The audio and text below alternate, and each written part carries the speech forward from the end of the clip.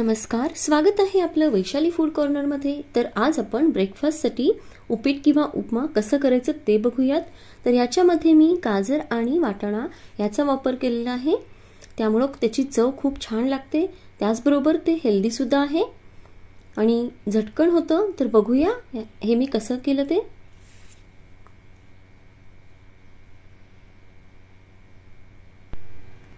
तर इथे मी कढईमध्ये दीड वाटी रवा घेतलेला आहे. आणि तो आता मी नुसताच कोरडाच भाजत आहे आधी तूप घातलेलं नाही. आणि नंतर मी तूप घालून भाजून घेणार आहे. तर हा मंदाचेवरच रवा भाजायचा आहे. आता मी तूप घालतीये लागेल असं तूप घालून आपल्याला मंदाचेवर रवा छान भाजून घ्यायचा आहे मोठा गॅस केला तर रवा करपू शकतो. आणि मी हा निम्मा निम्मा रवा भाजतीये. एकदम जर सगळा रवा भाजला तर रवा कढईच्या तळाशी लागतो. त्यामुळं थोडा थोडा रवा भाजलेला आहे मी.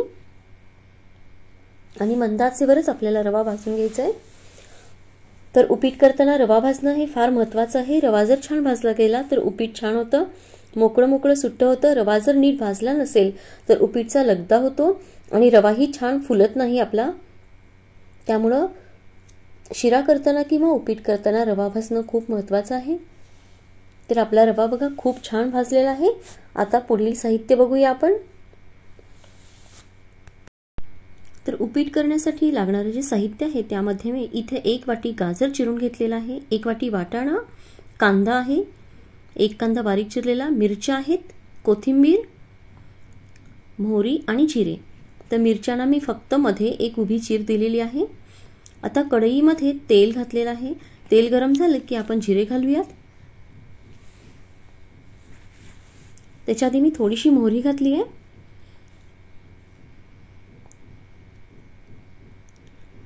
आता जिरं घातले कांदा घालूयात आणि छान भाजून घेऊयात. तर मिरच्यांचे मी लहान तुकडे केले नाहीत कारण लहान मुलं असतील तर आपल्याला मोठ्या मिरच्या असतील तर पटकन काढता येतात. म्हणून मी मिरच्यांना फक्त मध्ये एक उभी चीर दिलेली आहे. आता त्या घालतीये मी. आणि आता कोथिंबीर थोडीशी फोडणीमध्ये घालायची म्हणजे छान चव येते.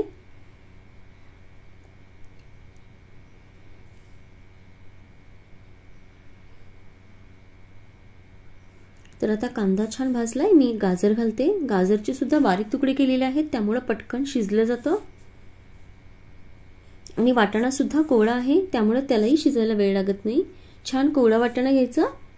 तर वाटाणासुद्धा मी ह्याच्यामध्ये घातलेला आहे आणि तो आपण छान भाजून घेऊया जरा.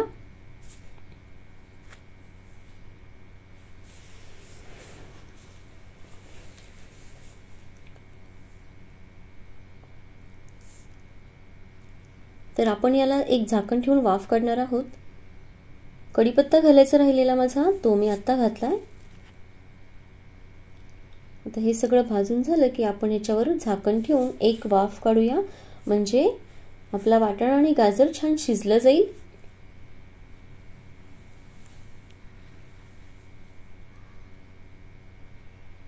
तर एक थोडा वेळ वाफ काढली मी आता.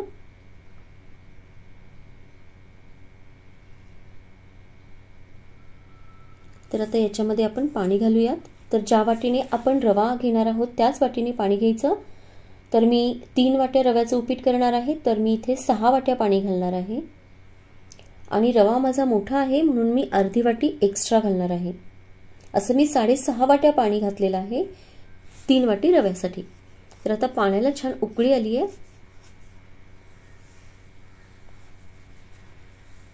तर आपण आता याच्यामध्ये मीठ घालूयात चवीनुसार.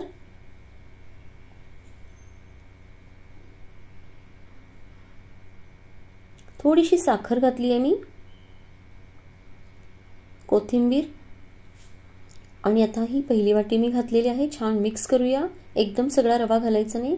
दुसरी वाटी घातलेली आहे आणि आणखी एक वाटी मी घालणार आहे.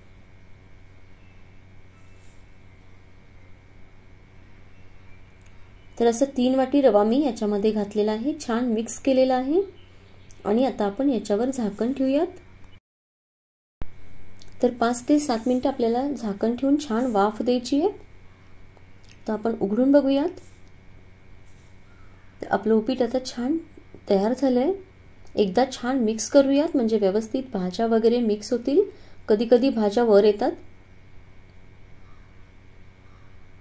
आणि आता तुम्हाला आवडत असेल तर थोडंसं लिंबू पिळायचं आपल्याला.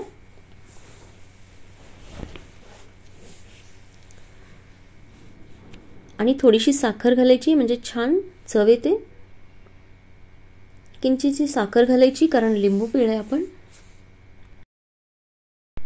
आणि आता हे छान मिक्स करूया आणि एक दोन मिनिटासाठी आपण झाकण ठेवूया.